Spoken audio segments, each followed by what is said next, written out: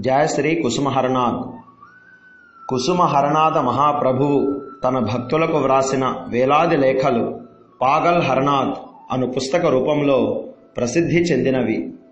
భగవద్గీత భాగవతము మరియు సకల ఉపనిషత్తుల సారమంతయు వీటి యందు ఇమిడి ఉన్నది. ఈ అపూర్వ లేఖలు అందరూ చదువతగినవి.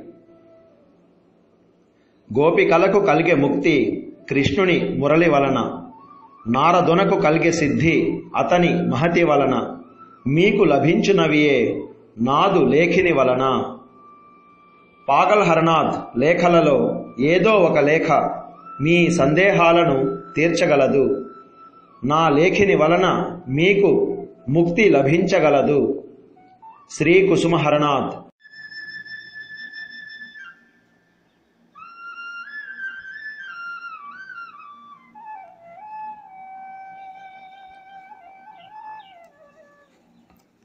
జయశ్రీ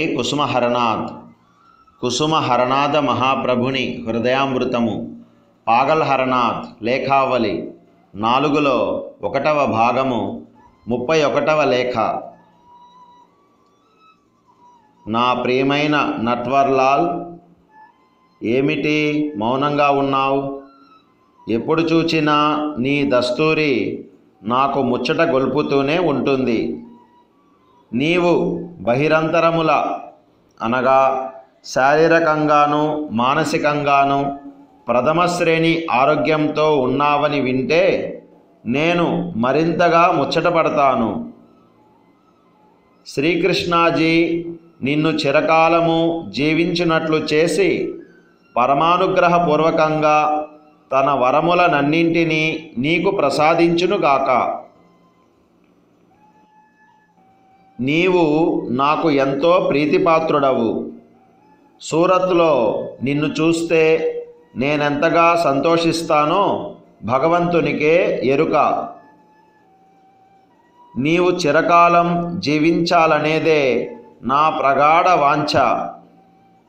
దయచేసి ప్రియమైన మాణిక్ లాల్కు విఠల్ దాస్కు అతని శ్రీమతికి నా ప్రేమానురాగములను తెలియపరచు. ప్రభుని కృప వలన మేమందరము క్షేమంగా ఉన్నాము. మా కొరకు ఆందోళన చెందవద్దు. నీ చదువును జాగ్రత్తగా సాగించు. ప్రాపంచికంగాను ఆధ్యాత్మికంగాను నీవు గొప్ప వ్యక్తివి కావాలి. మీ అందరికీ నా శ్రీమతి తన ప్రేమానురాగములను తెలియచేస్తున్నది. నిన్నామె ఆశీర్వదిస్తున్నది. మాంచేశ్వర్జీకిని ఆయన కుటుంబ సభ్యులందరికీ మా ప్రేమానురాగములు. అనురాగంతో నీ హర. కుసుమహర కుసుమహర కుసుమహర.